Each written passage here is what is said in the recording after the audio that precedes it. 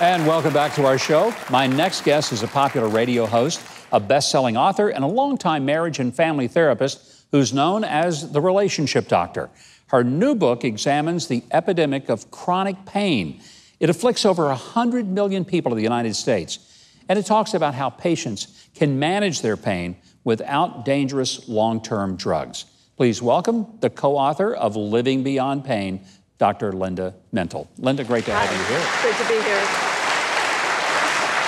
This is a topic that is on fire, Dr. Mintle, because people across America have been hearing all about the opioid crisis and the people who are addicted.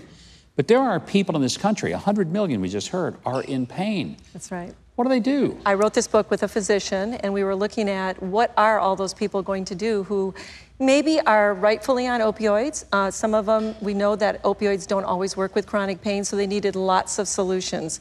So we reviewed all the evidence, we looked at all the research based approaches to chronic pain, and put those in the book and tried to understand a little bit more about helping people what chronic pain is all about. Are there treatments other than pharmaceuticals that can help people with, with real, not imagined, but Right. genuine pain? And there are people who hurt every single day of their lives. That's right, but pain perception is in the brain, and that's one of the things that we talk about a lot in the book. So if you change your thinking, it helps turn down the dial on pain. If you change your emotional state, so if you work on depression or anger or unforgiveness or any type of negative emotion, it turns that dial down. If you work on your stress and you're able to manage stress better, it turns the dial down. And then there are a whole host of other types of treatments. We look at everything from acupuncture to medical marijuana to CBD oils to. Does um, any of that work? The, the data is really still, we need to look at medical marijuana quite a bit. We haven't Yeah. had it done well in terms of the research yet. There is some promise maybe with CBD as we look at that, but we have to be very careful because the studies just aren't there. So as we look at all those treatments, we're really saying that a lot of it, the jury is out. Now, acupuncture does seem to work for people. We do advocate in the book something that people don't know about much is osteopathic manipulative treatments. It's called OMT, and it's a form of Osteopathic doctors of osteopathic medicine do it all the time. They work with their hands, and when there are structural problems with pain, they can change that and work with it. They're non pharmaceutical types of treatments, and they're amazing in terms of how they help people.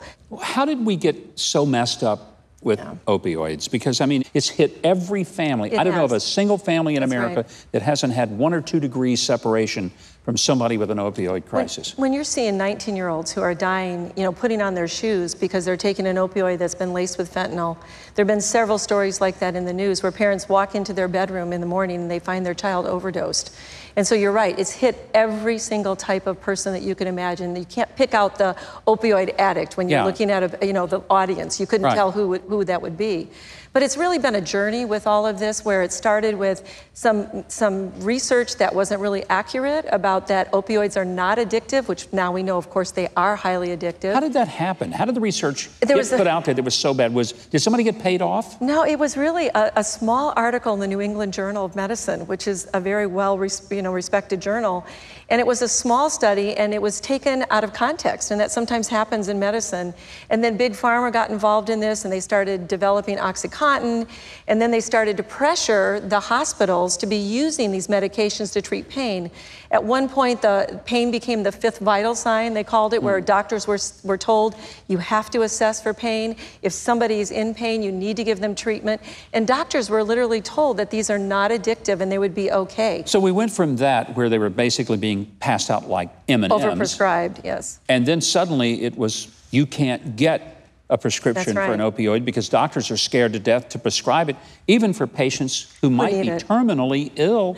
It probably won't change their trajectory of their lives a whole lot, but may relieve some pain. Well, you and I talked about it's kind of a pendulum because now there is, there, I think there's really good regulations now for physicians.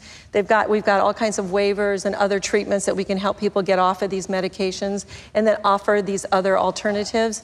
But it's going to take a while. And one of the things that people need to understand is that not everybody on an opioid is an addict. So there are appropriate uses, like you said, um, when those are regulated, but you need to be have them regulated and see your physician and make sure that you're being monitored. What scares you the most about people who are in chronic pain and the decisions that they make? Because sometimes they may be, they're so desperate, they hurt so bad, and, and you know, we all know people. And you can see it in their face. And these are not whiners or complainers, and these right. aren't people who are faking it.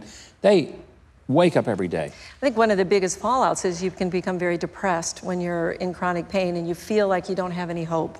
And the good news is, is if you understand how chronic pain works in the brain, you can change the perception of, of pain in your brain. You have to work with your thinking, your beliefs, your emotions, all of that can change the perception of pain and help people. So we can give people a much better quality of life. We can get them up and functioning again and have them enjoy their life again. And I think that's why the book Living Beyond Pain uh, is so valuable. Could be a great Christmas gift, by the That's way, right. for people who are saying, I've got a friend, I've got a relative, and they're in intense pain.